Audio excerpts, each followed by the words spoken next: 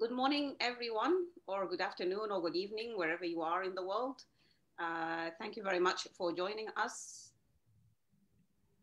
And uh, I would like to welcome everyone to learn about mater women's maternal and child health effort, uh, SAMA efforts in Sudan.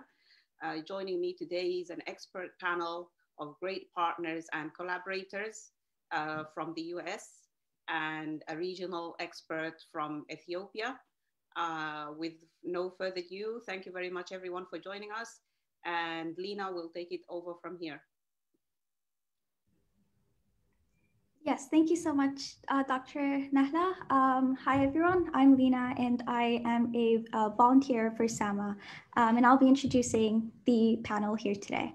Um, so to begin, Maggie Close um, has been uh, working on behalf of UNICEF USA uh, with her master's in global health and social justice from King's College London. Maggie has been working alongside UNICEF USA on managing health grants, providing strategic guidance to development in UNICEF's health funding programs. Uh, since the offset of the pandemic, Maggie has been supporting UNICEF's Health and Emergencies team and specifically guiding their COVID 19 response team. So, thank you for joining us. Um, Dr. Cherry Evans uh, is here to speak about uh, Jhpiego's USA efforts. Um, Dr. Cherry is a senior MNH advisor and director of Helping Mothers Survive at Jhpiego. Uh, with experience as a midwife, Dr. Cherry currently does work with various maternal and natal uh, care and childbirth training programs, providing technical leadership in maternal health for Jhpiego's country programs. Tashaut Salih is a project manager for midwifery training programs in her home country of Ethiopia. She's done extensive experiences in program improvement, strengthening midwife and nurse competencies, and writing technical documents. Dr. Nada Fadl is an associate professor um, at the University of Nebraska's Medical Center, as well as an active member of multiple community organizations, including Sudan NextGen, where she is a co-founder, Sudanese American Public Affairs Association, and the Association for Sudanese American Professors in America. Dr. Nahla Gadallah is an executive director of SAMA, and Dr. Um, Afaf Usman is a physician as well as a board member for SAMA. So next I'll be sharing um, a short video um, on helping mothers survive um, programs and some of the recent introductions um, in Sudan uh, since 2016.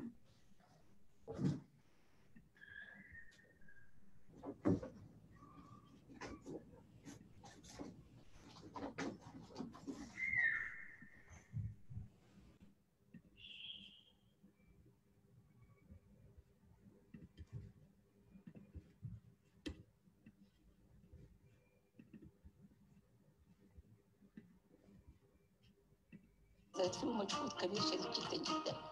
يعني Is the sound okay? المجهود ده يرجع لشنو؟ يرجع لإنه الناس اللي أصلا قوم الكورس ده يعني على دراية كاملة بحجم المشكلة. لأنه النسف ده مشكلته كبيرة شديد جدا جدا. لأن الناس واجهت مشاكل كثيرة يعني خاصة المستشفيات يعني الواحده تكون عندها نزيف يعني تخش مطبخ. لكن ممكن الداية لو أصلا عندها مهارات وعندها الأبية المنقذة للحياة ممكن تعمل الحاجات دي. ثاني إنه الكورس يعني حتى ال يعني ال ال ال الناس اللي نفذت الكورس يعني نسيت نفسها يعني ممكن الناس تشتغل لحد الساعة خمسة بالوقت إنه الجدول لحد الساعة أربعة والساعة ثلاثة لكن بجد على أهمية الموضوع الحكاية استمرت لحد الساعة خمسة وللآن يعني الناس بيكونوا قاعدين وبعدين أهم حاجة إنه يعني المشاكل كيف تحل المشاكل؟ يعني أنت بتلاقي مشكلة إنك كيف تحل المشكلة؟ فيعني دائما الدراسة عن طريق حل المشاكل يعني دي من الحاجات الناجحة جدا جدا لأنها تشتغل في الواقع. ونتمنى إنه يعني يعني ربنا يجعله لهم في ميزان حسناته لأنه يعني كونه يسافروا وانت ذاتك معاهم لسه يعني انت لسه لسه صغيره زي ما بيقولوا ومسافرة عبر الحدود. فده ذاته إحنا نقدم لك صوت شكر لأنك أنت لو ما كان قلبك على السودان ولو ما كان الدكاترة اللي معاك الأسوسيشن بتاعت الجمعية بتاعت أطباء السودان الأمريكية لو ما كان إنهم انقلبنا على السودان ما كانوا جابوا الكورس فكون إنه يجيبوا الكورس للسودان معناه لسه الناس قريبة على السودان. ونتمنى لهم يعني كل خير في إنه يعني كل ما يبقى لهم فرصة سانحه زي دي يحاولوا يجيبوها للسودان عشان إحنا نقلل منهم في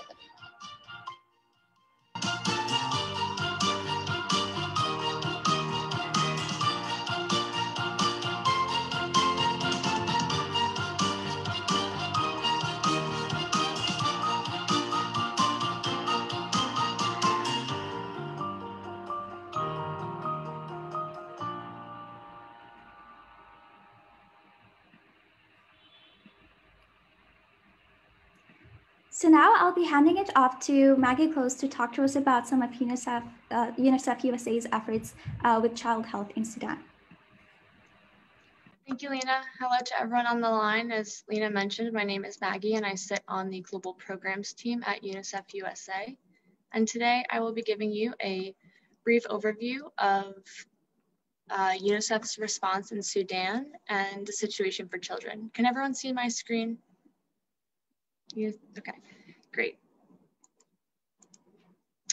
So over the past few years, Sudan has continued to face protracted, complex, and intersecting humanitarian challenges, and people in Sudan remain extremely vulnerable to these emergencies. Deepening poverty is causing widespread malnutrition, flooding, and recent disease outbreaks are upending lives and livelihoods, and education interruptions in both 2019 last year and 2020 have left 13 million children out of school.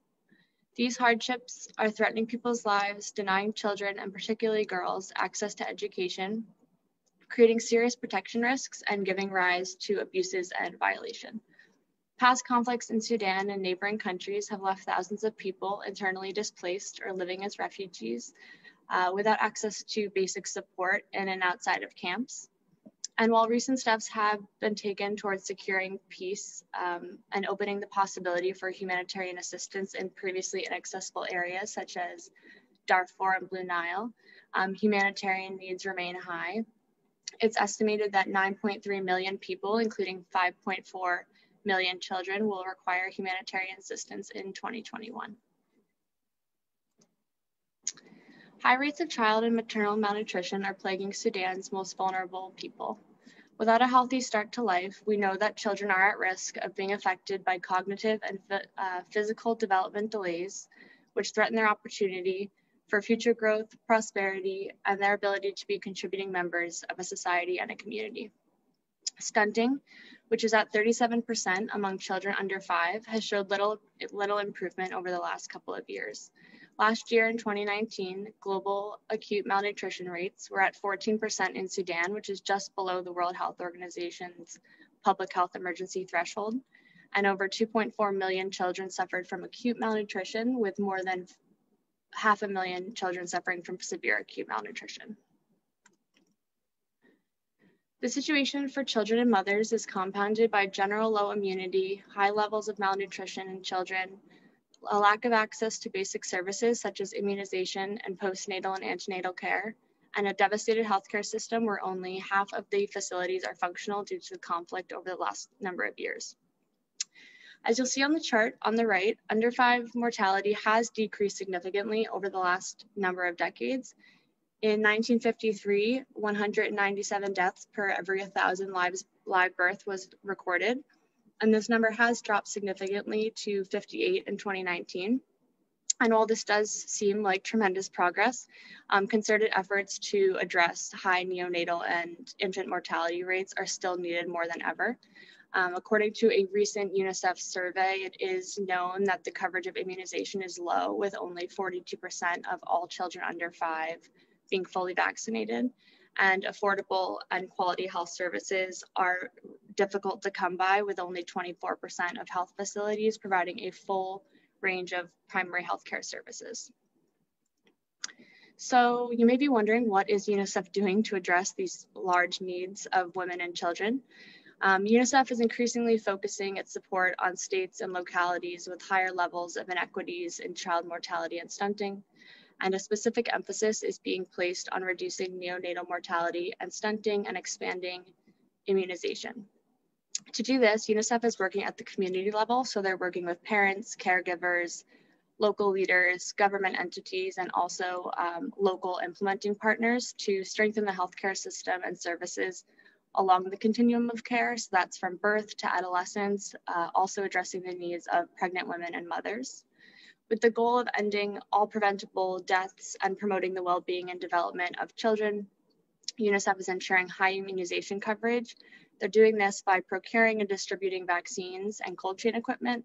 They're also supporting the government in efforts to reduce a high prevalence of malaria, and lastly, they are supporting the training of healthcare workers in the areas of maternal and emergency and newborn obstetric care, as well as midwifery training. Uh, last year, over 13 million boys and girls were vaccinated against measles, and 7.6 million boys and girls under five with oral polio vaccines.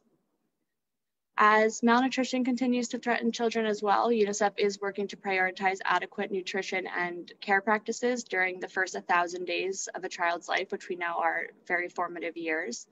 Um, in terms of addressing malnutrition, UNICEF is supporting the identification, referral, and treatment of uh, SAM children and procuring nutritional uh, products and supplies such as ready to use therapeutic food. Um, UNICEF is also improving the feeding and caring practices of infants and young children through the establishment of community level mother to mother support groups. So women are counseled and are able to share their experiences and best practices um, with other mothers, which encourages uptake and demand for these critical services. And we do know that over the last five years, the number of children who have been able to access treatment for SAM has doubled alongside the government's also scaled up response to the nutrition crisis in Sudan. So addressing the impacts of COVID-19, um, Sudanese communities are affected by regular outbreaks of cholera, of measles, polio, dengue, and most recently um, COVID-19.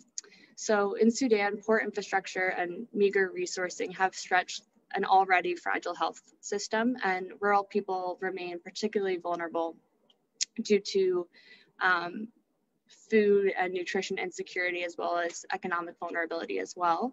And so one of UNICEF's primary health priorities during their COVID-19 response is ensuring the continuity of health services. So with interruptions in routine immunization services, um, viruses which, which have previously been eliminated or eradicated in Sudan have unfortunately begun to resurface. Last year, UNICEF delivered 7.1 million doses of oral polio vaccine um, for routine immunization services and 13.5 million doses of oral polio vaccine for mass campaigns. However, this year, thousands of children are missing out on vaccinations due to the impact of the COVID-19 pandemic, which is worsening an already existing immunity gap that we saw there before. Um, so on August 19, uh, August 8th, actually, vaccine-derived polio virus was confirmed in Sudan. And, and why is this such a big cause for concern? Um, as you may know, this strain of the poliovirus is a result of low immunity and under immunization rather than any type of issue with the vaccine itself. Um, and to address this, you'll see two photos on the right-hand side. UNICEF uh, most recently in October 2020 delivered 10 million doses of polio vaccine to Sudan. Um, and UNICEF is working with the Sudanese government and the World Health Organization to boost immunity as well as protect uh, the world's most vulnerable children. And the campaign was also accompanied by a, social, a social mobilization campaign, which um, encouraged families and caregivers to vaccinate their children, but also, more importantly, as well, um, addressed vaccine hesitancy and reduced misinformation. So while 2020 has posed significant challenges to families near and far, there are also certainly elements to be celebrated as well. Um, in early 2020, UNICEF reached children and mothers in South Jebel Marra, which has been inaccessible to humanitarian agencies and aid since 2009. I just have a short video to show you.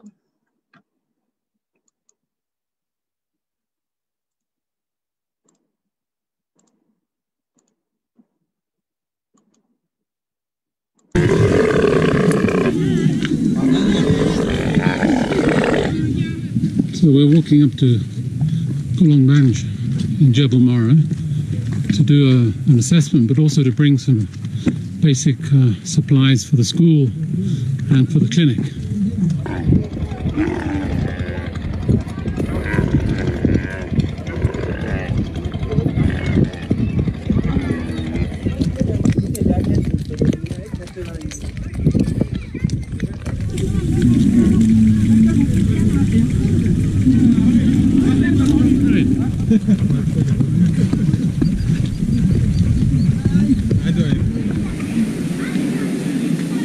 Ilu.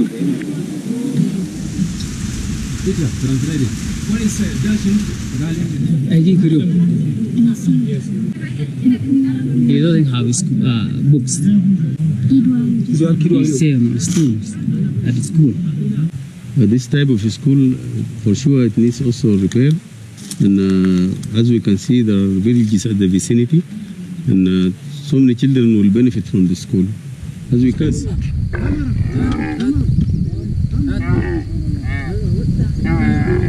In spite that the people they are they have an access to food, but are, there is a many challenge in accessing to the health uh, services. The children under five still they are suffering of this uh, uh, diarrheal disease, the worms. Even we- seen the cases of the malnutrition. It's an open uh, shallow well, so for the time being, we have not we are considering it as an unsafe uh, drinking water, but uh, it could be improved, it could be protected, and it could be also connected to some storage where people can then get water through. Uh, during my interaction with the women and, uh, and community leaders, I realized that there is a number of child uh, marriage in the area. And uh, I think what we need to do is to raise the awareness of the community to uh, abandon this uh, practice.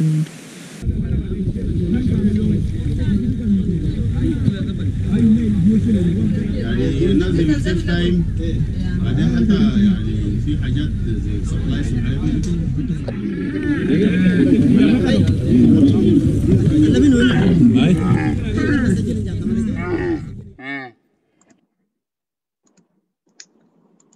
So now UNICEF and their partners are working together to bring critical health services to every child in the hardest to reach areas um, to ensure that every child has a healthy and happy start to life. Thank you. Thank you so much, Maggie, for this um, wonderful overview of some of the important work that UNICEF has been doing and some of the um, issues that are still a work in progress. Um, next, Dr. Nada Fadl will be speaking about um, some of the maternal child um, maternal child health in Sudan um, and giving us more of a broad overview.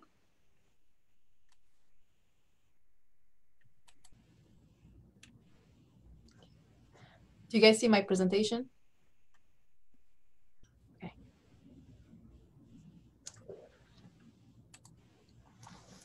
Yes, we do, Nada. Go ahead. Okay, good, good. All right. Well, it's my pleasure to be here with you today, and I really appreciate the opportunity to augment SAMA's voice and programs in Sudan. Um, uh, as you all know, SAMA has a very long history of doing amazing work in Sudan when it comes to maternal and child health. I'm not going to go, um, is it in screen view mode? I can't really see if it's in presentation mode or not. Yeah, me know. now we're going to presentation mode. Yeah, that's it. Okay, per- perfect. All right, so I had, this is my outline for today. I was just gonna give a general overview of under five and infant mortality, but Maggie gave a very excellent overview for that of that. And then I was gonna speak a little bit about helping babies breathe, an essential newborn care program, and why is that important? And at the end of the day, I was just gonna talk a little bit about SAPA and our hope to partner with SAMA in augmenting their programs and the boys in Sudan. So Maggie already went through all of these statistics. Um, the situation is really bad in Sudan. It's probably even worse now with the COVID-19 pandemic, uh, the flood, and all of the issues that Sudan has been facing, the economic crisis. So if anything, things might be actually worse in 2020 than they were in 2019. Uh, compared to the world, the infant mortality in Sudan is much higher, as you can see. It's 41 at the end of 2019. The world was at 28.2. Same for under five mortality, was 58.4 in 2019, and the world was 37.3. And this is the data from the World Bank uh, data bank.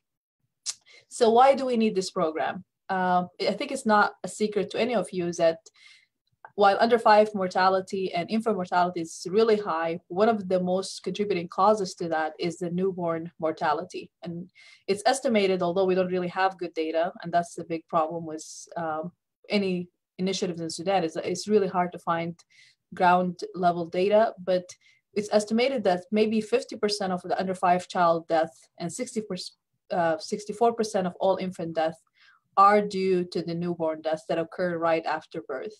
And there's so many reasons why that's happening. Uh, but as you all know, sepsis, infection is a big part of that. Birth asphyxia uh, is a big part of that, the infant not being able to breathe. And there's so many other contributing factors to that. So prematurity, low birth weight, all of these things can also contribute to making these problems even worse. And we uh, anticipate that if there are skilled birth attendants uh, at the birth time, that can certainly make a big impact uh, on all of these factors. But unfortunately, right now it's estimated that only 78% of all births are attended by a skilled birth attendant, and only 28% of these actually happen in a healthcare facility. And this is a big problem all over Sudan. Access to health is an issue, so a lot of these births actually do happen in the community, and less than 80% of them are attended by a skilled birth attendant. And um, only 67% of birth deaths are actually reported or registered. So we don't really know exactly uh, what's the true problem at the community level, especially in areas where birth registration by itself might not be uh, taking place. So lot, not a lot of information, but as far as we know, the problem is big and it needs immediate attention. So what is helping babies breathe and um, essential newborn care general objectives? So the general objective is to train 48 community midwives, nurses, and doctors uh, on in-service neonate comprehensive package. This is a comprehensive package. It's a very well put together course that hopefully will make an impact by the end of the day. And as we saw from the video that uh, Lena presented earlier, SAMA has a track record of conducting these programs on the ground in a way that's su successful, that's culturally competent, that is you know is making an impact already on other programs. So we do anticipate that this program is going to make an impact inshallah. There will be also training of the trainer and that's aiming to improve the quality of care given for newborns in the first hours of life. So hopefully this will disseminate at a larger scale in the community level with these uh, training of the trainers. The specific objectives of the program is to facilitate implementation at the community level. So Hopefully this will focus the attention of international community to neonatal recovery, and it will improve and build the capacity of midwives to resuscitate the newborn and arrange for referral to advanced care if necessary, and also strengthen the mechanism and supply chain of recovery equipment to ensure continuity of this effort and hopefully sustainability. And the hope that these midwives will have the skills necessary to go and not only at the time of birth but also afterwards to conduct follow-ups at the community level you know educate mothers on how to take care of their newborn and how to recognize signs of sepsis and signs of infection but also at the time of pregnancy how to educate mothers to you know with nutrition and self-care and baby care and all of these things so that at the time of birth these problems could be prevented. So um, lots of aspects that I already spoke to. So improve and build capacity of midwives to care for newborns during the first 24 hours and support a specific plan of action to care for the newborn uh, during the first 24 hours of life, but also improve and build capacity of midwives to provide advice and guidance to mothers during pregnancy and after childbirth on the best ways to care for the newborn. And if there is a need for urgent therapeutic intervention, these midwives will be trained on how to conduct these therapeutic interventions, whether it's antibiotics, whether it's any you know fluids or anything else that the baby needs uh, to help with avoiding uh, death in this period. And afterwards, you know, sending the patient to advanced care uh, facilities where they can actually get the care that they need. But that immediate intervention is hopefully going to prevent a lot of these deaths that are happening in the communities. So the target audience of this, as I mentioned, is mostly midwives, but also doctors and uh, other healthcare providers in 48 different, uh, sorry, 48 different uh, providers will be targeted. And the program will be conducted in 12 states. So the states are listed here. We're hoping to recruit, you know, four providers from each state to become these uh, training of the trainers. It's a seven days course. Uh, it's a very interactive program. It has lectures, it has working groups, it has workshops. Uh, there's practical training using mannequins and using baby dolls on how to conduct these procedures. There's going to be role play, there's going to be discussion. And even though these are very long days, it's eight hours per day, but we saw from the video previously that these um, trainee were actually very dedicated and very excited about this training. So they actually stayed long post their scheduled hours uh, to take advantage of these opportunities. There will also be a pre and post test to measure the impact of this training and how it's actually uh, making a difference. And lastly, I just wanted to say that we're very excited about this collaboration between Sudanese American Public Affairs Association. Although we're not directly involved with this program, but we're really happy to be here to augment that voice and spread it uh, among the Sudanese American community. So just a brief uh, uh, overview of SAPA's mission is to strengthen the well-being of Sudanese American communities as well as organizations by increasing engagement through education, public awareness, self-empowerment, and positive contribution.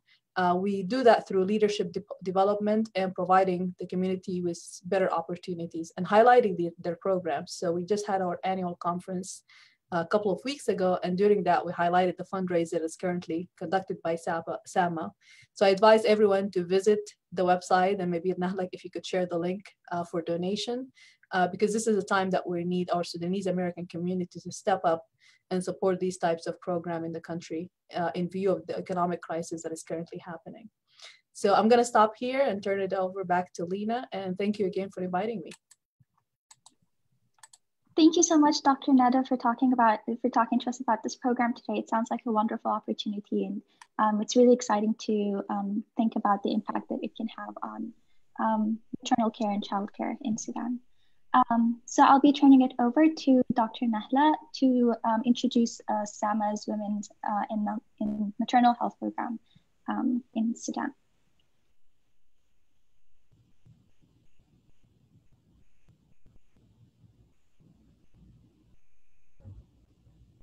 Thank you, Lena. Um, thank, uh, so I'm going to talk about SAMA's Women's Health Program in Sudan. Uh, it all started back in 2015 with uh, short seminars and presentations and contributions at the OBS and Gynae Specialist Association in Sudan. Uh, and then after that, we found a way to collaborate and partner with uh, Jhpiego, uh, and Cherry will talk more to that, and introduce the Helping Mothers Survive module. So the Helping Mothers Survive module is basically a an in-service training module that we introduced in Sudan back in 2016. Uh, we also introduced the cervical cancer screening program uh, in 2017 and the child pop, uh, health program, which is a Healthy Babies Breathe module in 2020. Uh,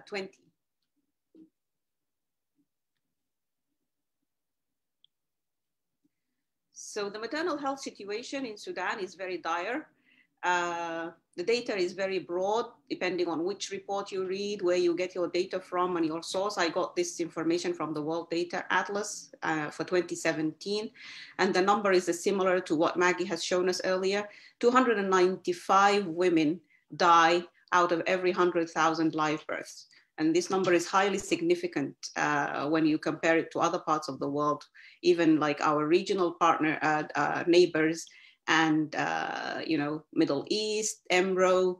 Uh, we don't even want to go and compare it to Europe, where the number is just one, or in America, I think the number is 14. But this number is really, really huge and significant, and we see that a lot of uh, our mothers are dying of preventable causes. All these causes are preventable if a skilled birth attendant is available to assist.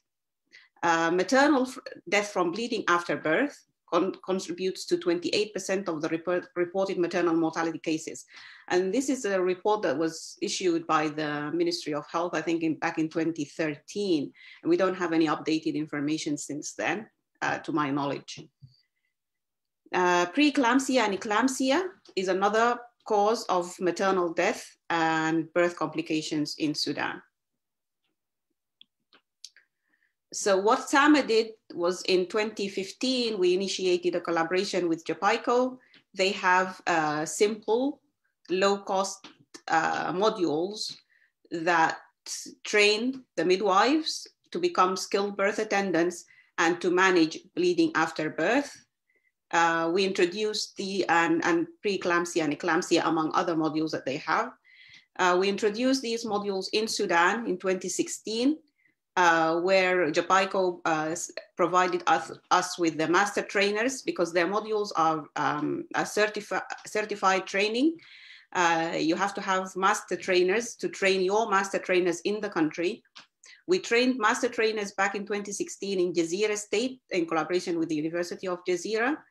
Uh, we provided the simulators for the training and we tr uh, translated the training into Arabic to make it more practical for local use and to make it uh, easy to achieve, uh, to uh, learn for the midwives. Well, most of them don't speak English. The progress that we have made since 2016 after introducing the first module, which is the helping babies breathe, uh, sorry, the help the bleeding after birth module. Uh, so far, despite all the challenges in Sudan, we have trained over 1,400 community midwives in eight states. And we've been able uh, in 2019 to reach West Darfur, where we trained um, midwives in, uh, in Geneina. And this was a, an area that was really out of reach for uh, many years as well. Uh, we also trained uh, 50 midwives in Kadugli.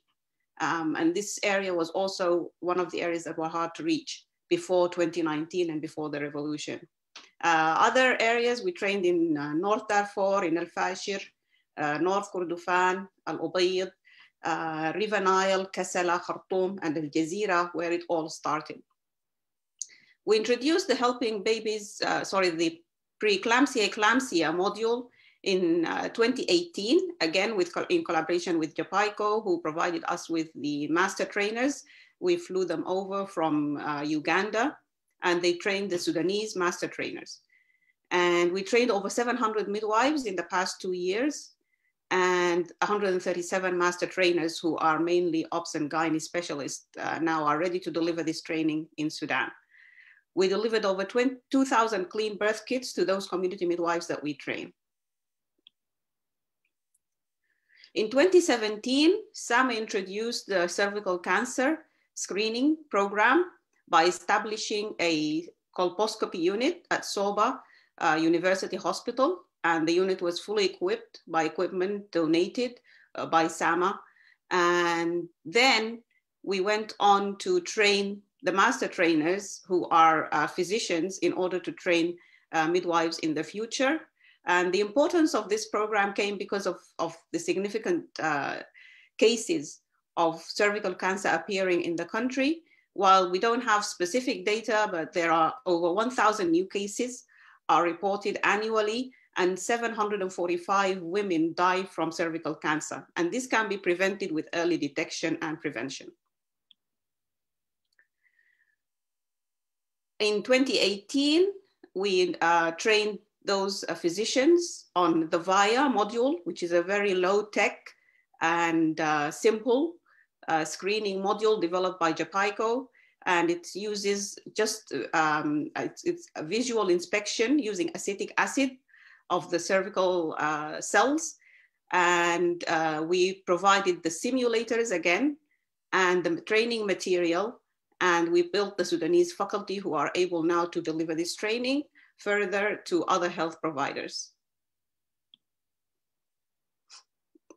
Um, seven, three colposcopy courses to have trained over 165 specialists uh, over the past three years. And uh, we don't train any more uh, specialists in this area, but we are trying to uh, start use, uh, train, uh, providing the service of cervical cancer screening starting 2021. This was the first faculty that graduated from the course. And in the center here, you see Dr. Muhammad Ibrahim. He's the champion of this program and he introduced all these uh, modules in Sudan. The program also provides equipment, surgical instruments uh, to rural hospitals, specifically the Jazeera where we started this program. We provided them with many of the equipment that they need and most of this equipment was uh, kind donation from First, uh, First Health uh, Regional Hospital in North Carolina.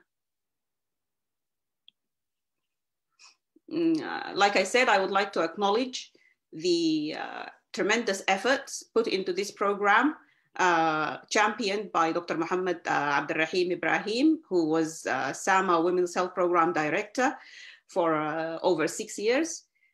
He has sort of stepped down his role now due to other commitments and, uh, and he wants to pass the candle on to another champion. Uh, and we still uh, we facilitate all this program on the ground with our full-time staff in Sudan.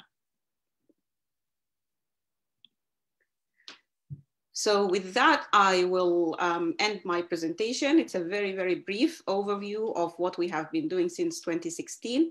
And um, I'll take it back to Lena. Thank you so much, Dr. Nahla. Um, I believe we received a question regarding cervical screening in the chat box, if you'd like to address that. Okay, can you read it for me, please? Uh, the question is from uh, Nada uh, Salvi, I believe. Um, the question is, is cervical screening available in Sudan locality hospitals or only in Khartoum? I don't know about the availability in the private sector. Um, there is no national program, as we know. Uh, the, uh, the, ministry is working on developing that right now, um, as we've been we're working with them for several years now to, to have a, a national program. Uh, there is colposcopy services in the private sector. There are uh, public hospitals that do have colposcopy services, uh, but I'm not, I'm not aware of any uh, specific screening services. SAMA is planning to introduce a specific screening service with our partner, uh, Turkish Teaching Hospital, starting in 2021. All right. Um, so next, I'll be handing it off to Dr. Cherry Evans, who will be talking to us about the SAMA and J, uh, Jhpiego partnership in Sudan. All right, um, thank you very much for that. Um, good morning, good afternoon, good evening, everyone. I was doing a little dog management in the background, so that's why I was kind of fading in and out, but I think she's under control. Um, so let me know if you can see the screen. Um, okay. All right. Are you able to see? Yes, able to see it. Wonderful. Okay. Okay, so for those of you who may not know, um, we've had a kind of a brief overview about the use of Helping Mothers Survive in Sudan. Um, Helping Mothers Survive is a suite of training modules to help all types of providers give the highest quality of care they can throughout the health system to both women and their newborns, um, not just on the day of birth, but for preeclampsia, eclampsia as an example, including antenatal and postpartum care. These modules are based on the latest standards of clinical care and also they're based on the, the latest evidence for effective in-service training techniques. Um, so Jhpiego leads the consortium of helping mothers survive. Um, there are um, global um, and local and regional members, but um, we work very closely with FIGO and ICM and also UNFPA. Um, UNICEF actually is a new uh, um, area for us. We have a, a project uh, delivering all of the BMONC competencies through helping mothers survive and helping babies survive modules.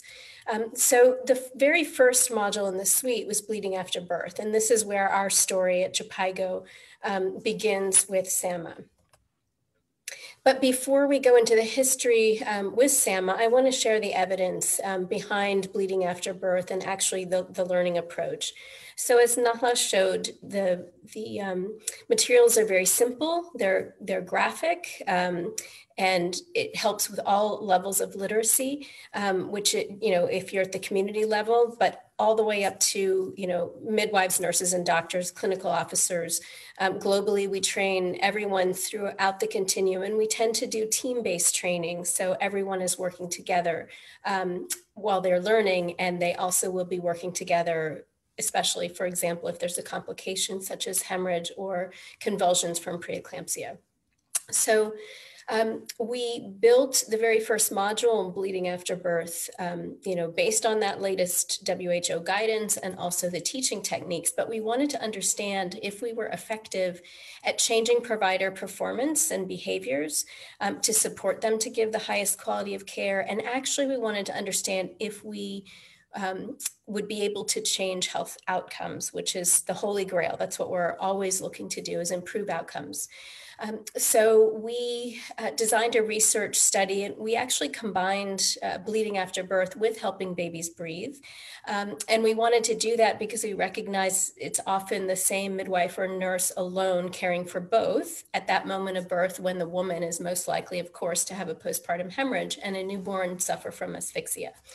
So what we did is we provided a one day training at the facility level for bleeding after birth. And then a few months later, we did the same in helping babies breathe. And we did this in Uganda through a Saving Lives at Birth funded project. And we were in 125 hospitals um, in 12 remote districts. Um, and so our evidence showed after a one year project, um, postpartum hemorrhage dropped by 17%. Um, as a researcher, I was surprised it didn't go up because, of course, if you teach people how to recognize something, they're going to see it more often. Um, retained placenta went down by 47%. So that's, that's the evidence behind the Helping Mothers Survive approach. Um, you can see though, since we coupled it with helping babies breathe, um, we decreased fresh stillbirth by 34% and early newborn death by 62%. So the approach is a very powerful one. Okay, so um, now to our shared history. So in late 2015, um, there was a member um, of SAMA. Uh, I'm not sure if she was a volunteer. Um, Nahla may be able to tell us, but Asma Hamid joined a Baltimore based training in bleeding after birth. And I think it was our first US based launch of bleeding after birth because we wanted to share with interested um, INGOs and faith based organizations that work in developing countries. Um, we wanted to share this new module. So Asma was one of the um, uh, the trainees, and she apparently was very excited by it and went back to, to Nahla and said, this is something that we should pursue. So fast forward a little bit, and as um, has already been expressed and explained in 2016, we had those four Jhpiego trainers, and thank you very much for putting their faces up there. They are uh, friends of mine, and we work throughout the globe together. But Jhpiego trainers from both Tanzania and Uganda. Um, and if I recall correctly, um, that training of uh, trainers um, was during a postpartum hemorrhage project um, for the annual scientific workshop in, with a collaboration between SAMA and the Sudanese OBGYN Association. So Nahla already gave um, from that activity um, the numbers of master trainers and clinical mentors and providers who were trained just in that activity. And we have a similar picture. It was a different one, but the trainers are there sitting in the front. Okay, so and as a result, my understanding, and this is, I think, um, in part what Nahla was showing, in bleeding after birth, 168 master trainers were eventually trained and nearly 1,500 midwives. So that's an impressive accomplishment by SAMA, um, and with plans to reach all 26 states. So um, You've seen these images already. These, this is where I got the numbers. So the coverage that Sudan has achieved through the work with SAMA has been tremendous. And I will say, as far as I know, the best globally reach for bleeding after birth. So there was more. Uh, and as Nahla said in 2016, um, there was translation of bleeding after birth and the helping mothers survive preeclampsia, eclampsia into Arabic. And in 2016, um, I got to meet Nahla and Professor Alcinos, who had come over from Sudan uh, in Baltimore. I remember that quite fondly. I was not sure when the preeclampsia, eclampsia training began. Um, so I'm not sure if 2017 was correct from, from your slide, so I may be incorrect on the start date. Um, but there were just most recently plans for the Helping Mothers and Babies Survive module for threatened preterm birth care. And I know that that ended up getting put on hold as things became somewhat challenging this year for all of us to implement programs. Um, so in addition to these modules, Jhpiego has developed with our partners three other modules. Um, we hope that these will be of use to the great work SAMA has done um, in Sudan. They may not all be appropriate. Um, the Essential Care for Labor and Birth was actually just launched um, last year, and it's now become the most requested um, module for, for training um, and master training events. And the other two, complicated labor and birth, is actually now called prolonged and obstructed labor and vacuum assisted birth and their companion modules. Um, and those are actually being ready to be piloted in Tanzania. So at that point, we will have almost completed the set of BMONC competencies. Um, we have post abortion care under development as well. So this is our map of the world, and, and this is just documented. Um, we know that this approach has really scaled much farther than we can capture um, because there's no obligation of for anyone to tell us where they have provided training. These are open source materials. Anyone can download them and use them. Um, we do strongly recommend people are trained and mentored in their first training as we had done in, um, in Sudan in 2016. But we know that people download the materials, teach themselves how to teach it, especially if they're already helping babies breathe trainers, for example. Um, and they just read the materials and then turn around and teach them. So we are pretty convinced we have well over 100,000 providers trained. Um, and we are in, um, at this point, the last count was 73 countries. I need to change that slide. Um, so all of this information and the training materials are available on the website um, for anyone to use. And I thank everyone for your attention. Back over to you.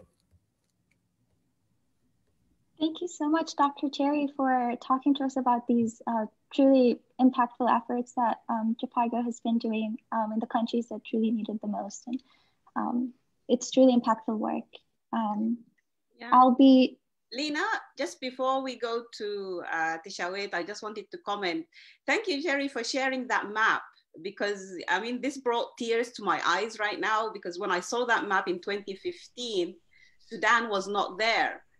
And I shared that map with our board members in an email, and I said, I'm going to put Sudan on that map. So thank you mm. very much for sharing that map. It's really heartwarming for me to see that map there, Sudan on that map. And we are so pleased that Sudan is on the map.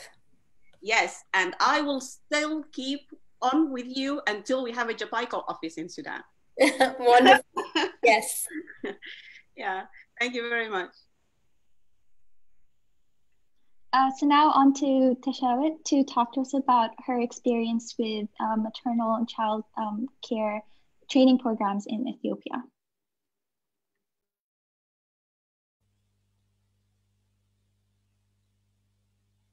Okay, thank you. Uh, uh, shall I share the slide? Uh, Tishawit, can you raise your voice a little bit, please? Okay. Okay, and you have the ability to share your screen if you wish. Uh, for our viewers, Tashawit is joining us from Ethiopia, and she said uh, she doesn't want to put her video on because of the network um, might would take her off. Uh, thank you very much, Tashawit. Uh, go ahead. Okay. I try to share uh, my slide. Uh, I already share for uh, Dr. Nahla. If it is possible, I try to uh, share my uh, slide.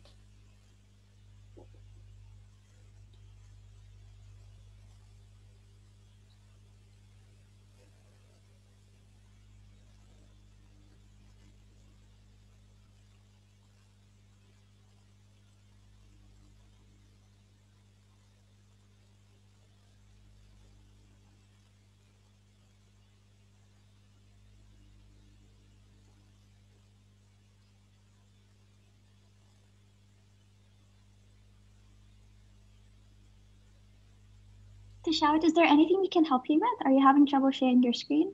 No, I'm Uh, going to share her slides. Oh, I see. Okay. Uh, sorry, uh, I. Okay, thank you so much. Okay. Now I can uh, start. I'm happy to uh, uh, discuss uh, uh, our experience in Ethiopia, uh, uh, a life saving project, uh, 50,000 Happy Birthday project, which is uh, uh, supported by International Confederation of Midwife and donated uh, by Laerdal Global Health. And it is also supported by Jhpiego Trainer and also American Pediatric Society.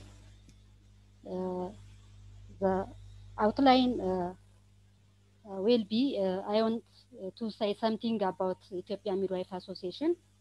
It is one of the stronger association in Ethiopia.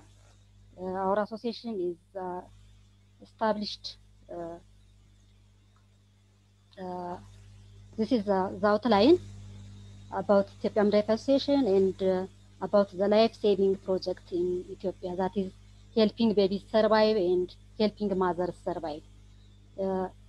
In this regard, uh, how we approach uh, this uh, implement the project, the result achieved, and also the major challenges and lesson learned and conclusion. I will, I will uh, share these experiences. Uh, regarding to the Ethiopian Midwife Association, uh, it is established in 1992 and a member of ISM since 1993. And it has more than 60,000 midwives in Ethiopia. Among these, 7,000 is a member, and uh, the goal is contributing to uh, reduce in maternal and child morbidity and mortality in the country. The vision is to see very every woman newborn and their family have an access standard midwifery care. And the mission is to promote and enhance the expansion performance uh, of midwifery professionals through adopting quality and evidence-based practice, adhering to the code of ethics and empowering the professionals to reduce maternal, neonatal, and child health mortality and morbidity and improving your sexual and reproductive health in Ethiopia. And uh, Ethiopian Midwife Association has uh, four uh, strategic directions. Uh, these are uh, capacity building, uh, advocacy and representation, networking and partnership, research and public publication. Uh, these are some of the points uh, regarding to the association. And now I uh, start the life-saving project, which is known as 50,000 Happy Birthday Project. this project is implemented in uh, five regions uh, in Ethiopia, large five uh, regions, like Amara, Oromia, Tigray, southern nation nationalities, and Addis Ababa, the capital city of Ethiopia. Uh, uh, it is also uh, implemented in the pre-service, the health facility, 100 hospitals and 50 health centers. And also in the pre-service or health science education institution, 30 uh, health science education institutions uh, were uh, involved. that is the geographical coverage of this 50,000 Happy Birthday project. And the main objective or the goal of this project is to equip and train uh, the midwife to uh, save a life at birth. Next. Uh, our approach or methodology is we started by organizing a launching and planning meeting to create awareness among stakeholders. Uh, there was a two days meeting. We start our our launching uh, workshop in our office, and uh, then after making that, the launching workshop was in its region, and the things was discussed with regional health bureau officials and the department, the head of department of the teaching institutions. Uh, and then the training uh, were delivered. Uh, the master training the, delivered at Addis Ababa nationally. the trains came from each region. And then the master trainers train the, tra the training, the trainer uh, at each region. And totally uh, we have uh, more than 24 master trainers and uh, we have uh, more than uh, 350 100 TOT trainers after training uh, this master trainer and TOT trainer, and then after return to their respective facilities, they train their colleagues on site. Uh, the tutors or instructors train their students, skill lab, and other uh, trainers. One thing that is a lesson learned at this point, we include the MNCH experts from Ministry of Health and Regional Health Bureau and the department head of uh, the training institutions are included in the master trainer and in the TOT trainer. This makes uh, uh, the activities go smooth uh, and also sustain. All educational materials and tools, including practice register templates, were provided at health facility and health science education institutions. We received educational materials and simulators from Laerdal Global. I want to uh, thank at this point. Cascading training were happened at uh, at the clinical area on site, as I said before, and the students and other uh, midwives in the clinic uh, and in the hospital are, were trained. And there was a, a follow-up uh, uh, mentoring at the clinical area. And at the time of the training also, the new trainers are mentored at the time of training. That is also our, our best practice. Uh, and there is a follow-up. At the time of follow-up, uh, there was the, a coaching on uh, the clinical, the clinicians, that is the midwife and the nurse. Most of the trainees were uh, midwives. Next.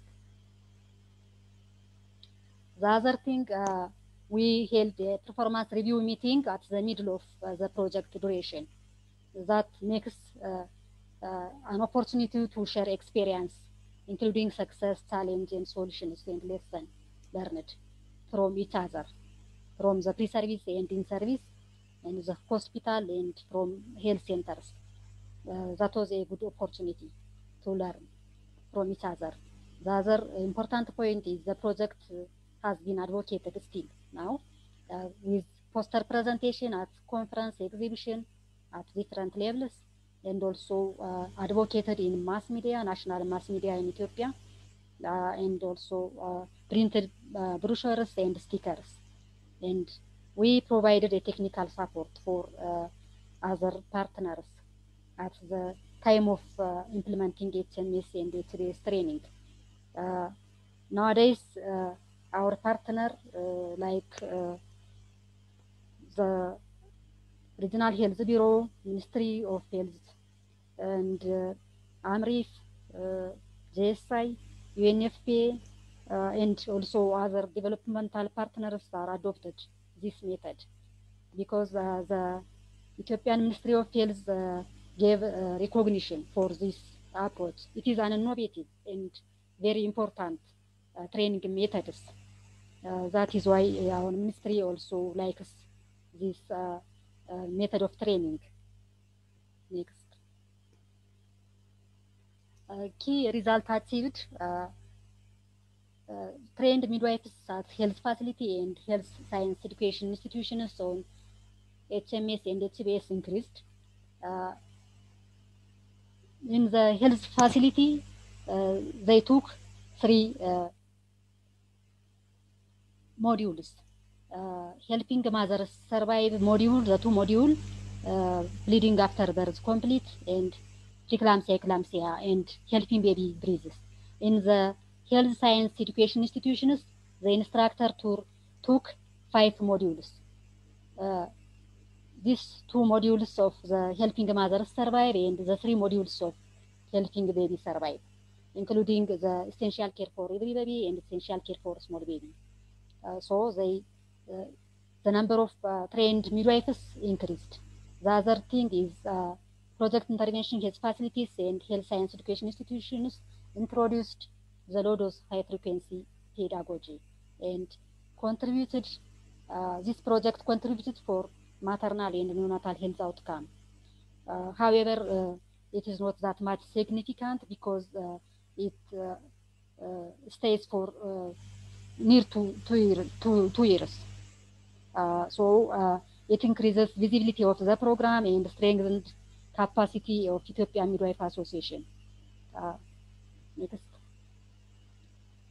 These are the uh, graphs that show uh, the number of trainees uh, in Ethiopia opted to train each person in more than an average of 3.8 modules and totally over 12,500 training episodes.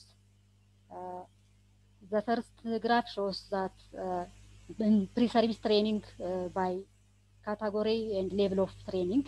In the pre-service, we provided the TOT training and uh, we support them to train uh, their students and the rest of uh, tutors in the school and also the lab assistants and totally near uh, or more than uh, 200 uh, trainees in TOT and 1,215 uh, staffs. That is the teacher or the instructor and also uh, the lab assistants. Next the figure two shows that the in service that is the hospital uh, midwives working in hospital and health centers uh, trained at uh, champion level and TOT levels. In the TOT level, uh, more than uh, 116 uh, midwives trained and also more than 1,000 champion trainings are trained. We support in the champion. The champion trainings are trained by their colleagues who took the TOT training and the master training. And the, they are also supported by the regional health bureau because the, health, uh, the regional health bureaus are trained uh, the TOT training and the master training. Some of them are uh, expert in this area. Next. these are the second achievement that is the health facility and health science education institutions have introduced low dose high frequency. As you've seen from the picture, this these are uh, from uh, the hospital and uh, the pre-service. The two right side pictures showing that the students are were uh, trained uh, and exercising the low dose high frequency. And more than five, 50 uh, percent of health facilities intervene this low dose high frequency. And more than uh, seven, 73 uh, percent uh, of midwives in teaching institutions are following this pedagogy. And cascading trainings are still continued by other partners. however, the, the project is phased out. That is the, the, the best thing. Next.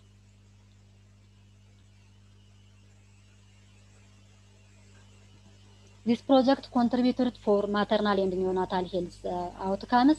The number of skilled births attended increased significantly in its health facility when you compare with uh, the health facilities which is not implemented uh, the 50,000 happy birthday project and facility-based maternal deaths are reduced uh, and the stillbirths also reduced.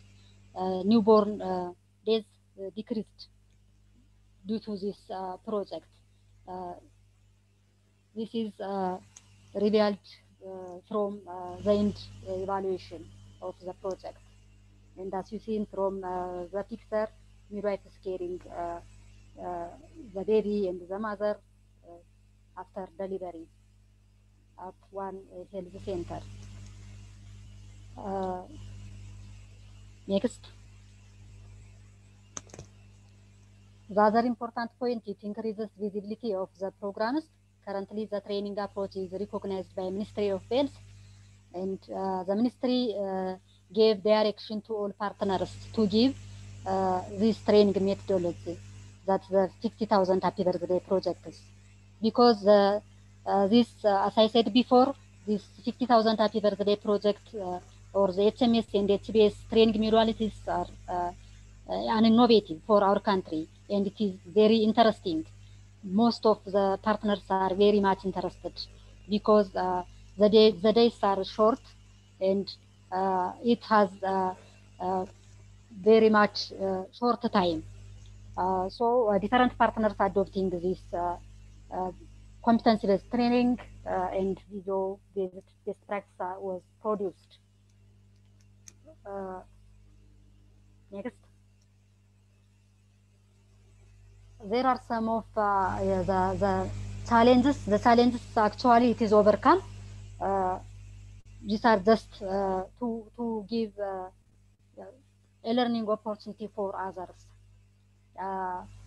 the first thing that we faced a challenge or lack of master trainer trainer at, in Ethiopia. So thanks to ICM and Laerdal Global, they provide an opportunity uh, to train to senior midwives uh, at, at master training levels.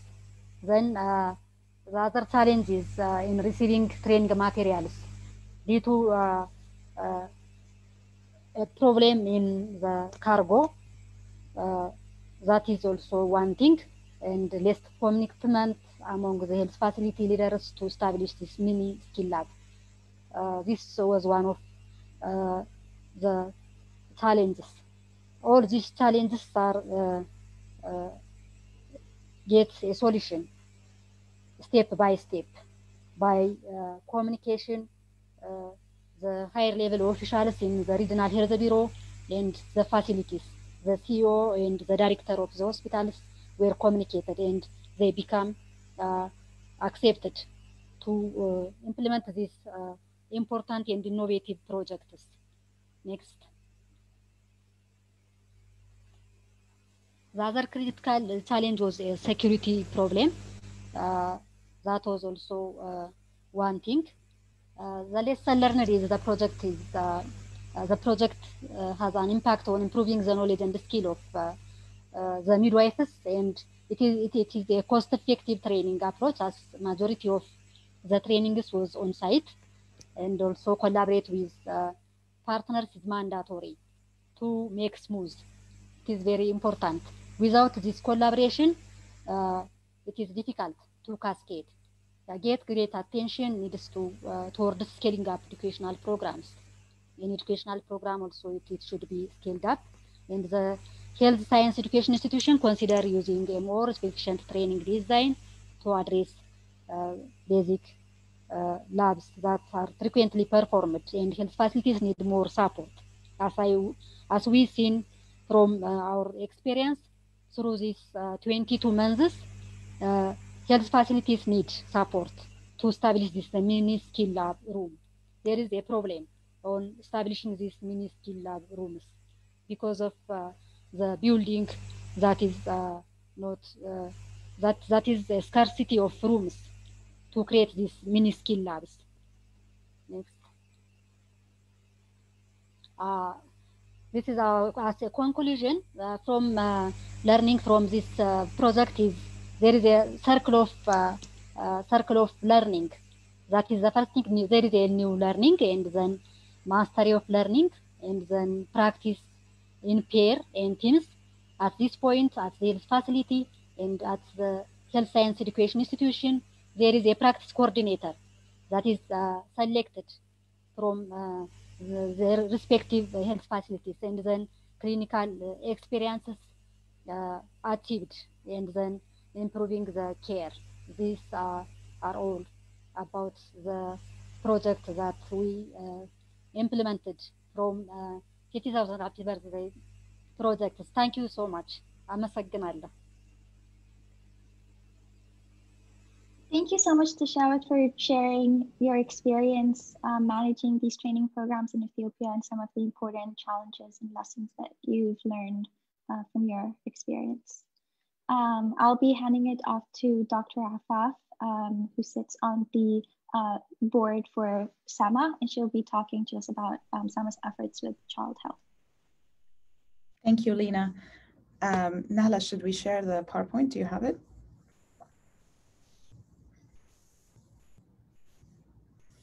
So basically, I'm going to be wrapping up um, and basically um, just um, probably repeating some of what have been said um, about um, SAMA's child health program. Um, and I did want to include a little bit of an Arabic translation for our audience that does not speak English, because last time we did this, we had feedback that, you know, a big population of, you know, Sudan and, and uh, Sudanese people speak Arabic. So um, I wanted to also include that just um, in, in my final remarks. Um, so um, helping, helping babies breathe is, is you know, our biggest initiative uh, in terms of um, the SAMA Child Health Program. and I think that it, it's a really important initiative and it really demonstrates, you know, our core values. Um, uh, the the very core value of, of helping the children in Sudan, which has been, um, you know, a goal and um, a center value for us ever since we started um, the organization. Um, and then it also demonstrates um, um, that we are investing in sustainable uh, projects uh, that bring education to the midwives and to the healthcare teams in Sudan uh, and results in sustainable change um, that has a big impact um, in that the impact is not, you know, centered on one hospital or uh, centered on one clinic, but that the impact is um, translating into a bigger area and reaching areas outside Khartoum and outside um, the city, um, and reaching areas that um, are far away and also have very, very limited resources. So, you know, other speakers have talked about this before, but really the situation in Sudan is, uh, is, is really, um, uh, really dire. Um, the uh, mortality is very high for live births. So um, here's a statistic that's a really frightening number, 33 out of a 1,000 live births. Um, and again, asphyxia is the leading cause. Um, so if I, I just want to talk a little bit in Arabic before we go to the next slide. Um, so um, احنا بنتكلم عن برنامج um, um, Helping Babies Breathe برنامج Helping Babies Breathe uh, الترجمة بتاعت الاسم هي مساعدة الأطفال على التنفس وهو برنامج uh, تعليمي ساما اللي هي المنظمة الأمريكية السودانية للأطباء بدأت البرنامج ده عشان تعلم القابلات كيف ينقذوا الأطفال حديثي الولادة. معدلات الوفاة للأطفال حديثي الولادة في السودان عالية جدا للأسف. يعني من كل ألف ولادة في 33 طفل بيموت فده رقم عالي جدا. ففي كمية كبيرة للأسف من الأطفال حديثي الولادة بتولدوا بيموتوا. واحد من أهم الأسباب لوفاة الأطفال عند الولادة هو الاختناق أو نقص الأكسجين.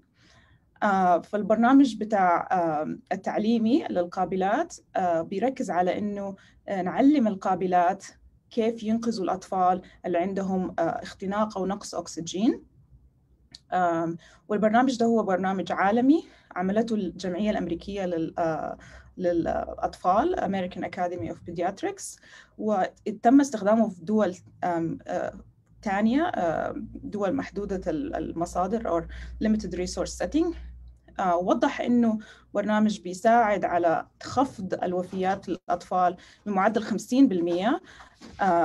فالجمعية الأمريكية للأطباء السودانيين قررت أنه تطبق البرنامج ده في السودان عن طريق تدريب القابلات. So بدينا في 2013 um, and الفكرة كلها إنه لما الأطفال يتولدوا يكون عندهم معدل أكسجين منخفض أو عندهم اختناق أو ضيق في التنفس uh, نعلم القابلات كيف يدوم الإسعافات الأولية اللازمة اللي ممكن تنقذ حياتهم uh, وتديهم الأكسجين وتديهم التنفس.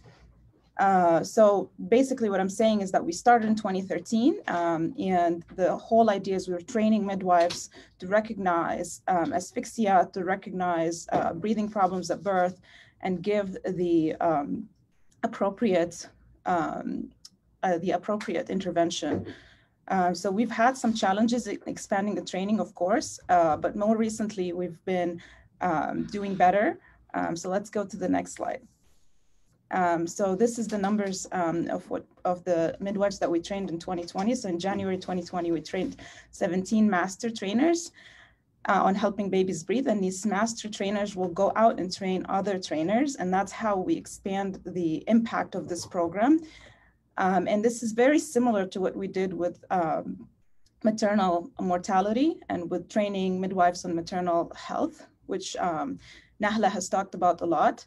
Um, and as you've seen, we've trained hundreds of midwives on maternal health. So the hope is that we can do the same thing with the help helping babies breathe.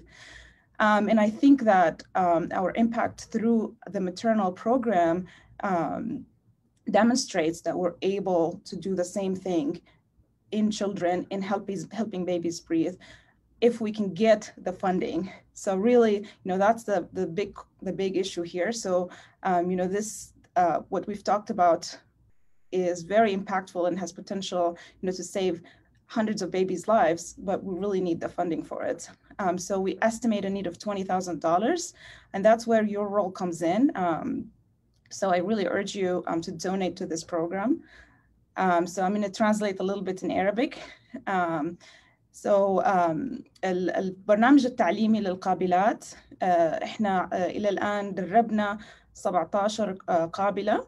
ال 17 قابلة ديل حيمشوا يدربوا قابلات ثانيات في مختلف أنحاء السودان على أساس إنه يكون التدريب ما بس في الخرطوم بس برضه في الولايات وفي الأماكن البعيدة. وبكذا بنقدر نعلم أو ندرب عدد أكبر من القابلات. إحنا عندنا برنامج تدريبي للقابلات. في موضوع الولادة بالنسبة للأمهات بالنسبة للهemorrhage اللي هو البليدنج أو النزيف بتاع الولادة.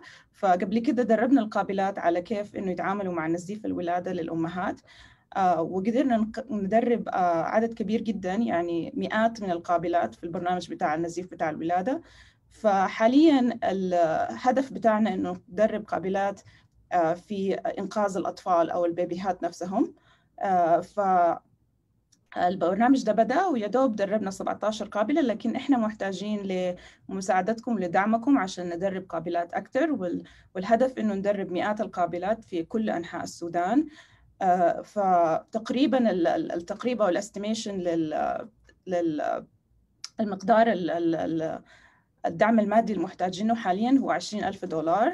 والرقم يمكن يكون كبير لكن كل دولار بيساعدنا وكل كل تبرع من أي شخص بيساعدنا فإحنا عشان كده عاوزين نفتح أو أو ندعوكم إنه تتبرعوا للبرنامج ده لأنه برنامج مهم جدا وممكن ننقذ حياة أطفال كثيرين جدا عن طريق التدريب ده. Um, so that's basically kind of what I wanted to say um, as, a, as an introduction to this program. Thank you for having me here and thank you for organizing this. Um, and I really hope that, you know, we have a positive impact uh, through this program and that we're able to raise funds uh, to help babies breathe and to save babies' lives. Thank you عفاف and uh, yes uh, برضو يعني حاضيف لكلام عفاف انه برغم الكوفيد وبرغم اللوك داون اللي كان حاصل في العالم كله uh, لكن ساما في سبتمبر 2019 uh, we used the window of opportunity between the two COVID waves. We trained uh, دربنا 48 قابلة في ولاية سنار. وبالتالي um, عندنا خبرة كويسة في تدريب القابلات في جميع أنحاء السودان. وعاوزين نكرر التجربة بتاعتنا بتاعت تدريب القابلات لإنقاذ حياة الأم. في برنامج إنقاذ حياة الوليد وعايزين ندرب 200 قابلة في سنة 2021 في ولاية سنار بإذن الله.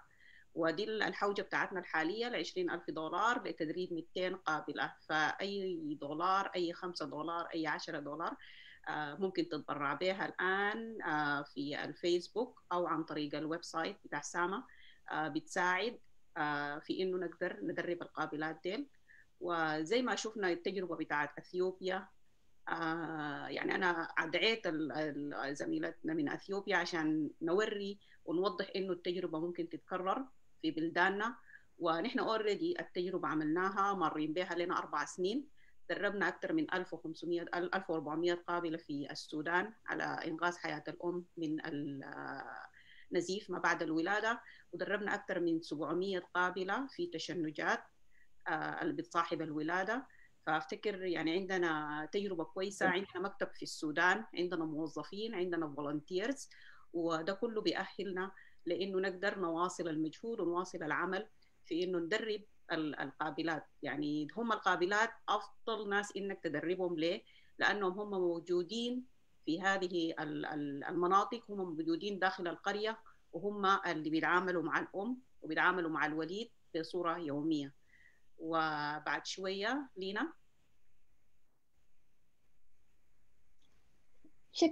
thank you so much. Um, As we have a video on عن and Helping Babies Breathe uh, Fees and Naf, um, I'll be showing a short video um, about the Helping Babies Breathe program in, in Sennar.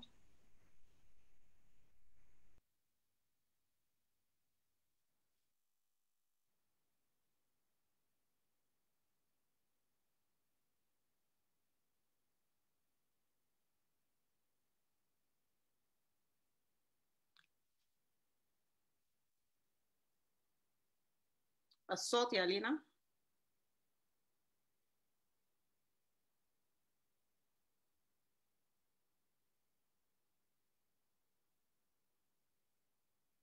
Oh, sorry, I was muted.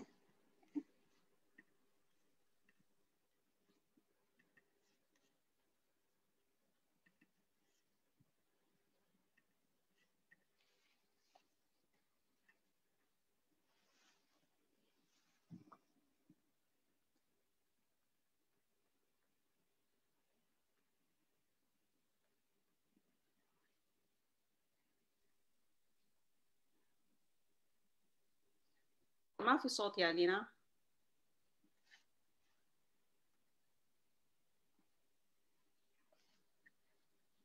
الصوت كويس؟ ما سامعين. ما سامعينه؟ آه. um, You want me to share it? uh, أفتكر عشان مركبة السماعة. أوكي أوكي أيوه كده حنسمع أيوة.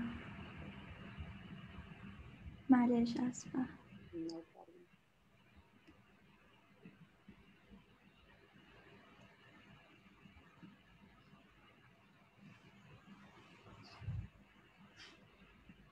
كذا سامعين؟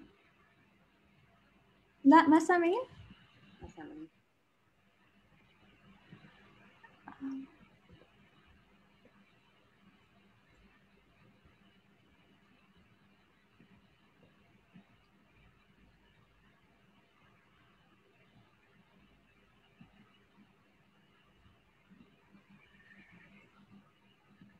You want me to share it, Lena?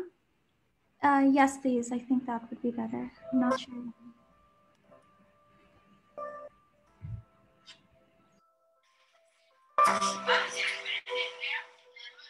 السلام عليكم أنا ميدولين علي النور طبيبة آه، مدربة برنامج الحزم الشامل للعناية للرعاية الولي- بالوليد آه، البرنامج بدأ 2013 كان بإنعاش بإنعاش الوليد امتد بقى شامل الرعاية الأساسية للوليد. اللي هذا بديناه 2017 الهدف من التدريب بتاع الغابلات إنه ي- يمكن الغابلات إنه ن- ينعشوا الأطفال ويتمكنوا من إنه حتى الرعاية الأساسية قبل ما يوصلوهم المستشفيات.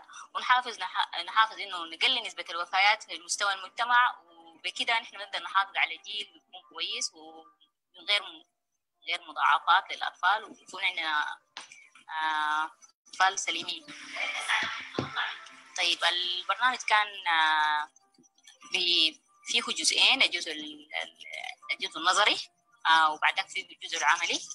فالفكرة فيه إنه يمكنهم إنهم يقدروا يمارسوا يطبقوا كل التقنيات بطريقة ممتازة جدا ويمكنهم إنه يكون بطريقة سهلة جدا في- في مجتمعنا بيشمل لنا إنه إضافة للإنعاش الرعاية الأساسية بتشمل إنه كيف يستخدموا كيس التهوية والاغنعه وإنه كيف اختاروها وإنه آه إنه كيف يقدروا يصنفوا حتى الأطفال وانه المحتاج لرعاية مع أمه وإنه الطفل الثاني محتاج إنه مساعدة بسيطة وإنه والله محتاج إنه نعمل له حاله للمستشفى عشان يتلقى عناية أفضل.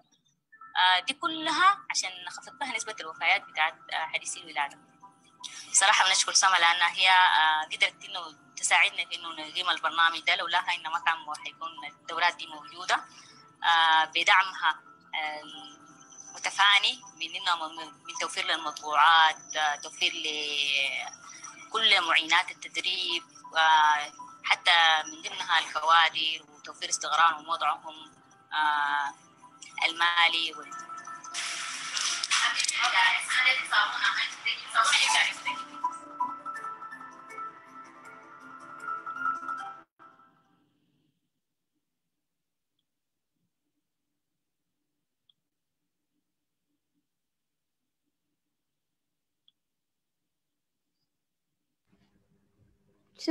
Thank you, Dr. Nahla. Um, and now uh, to finish off, um, you'll be giving us a quick um, summary um, and conclusion to this meeting today.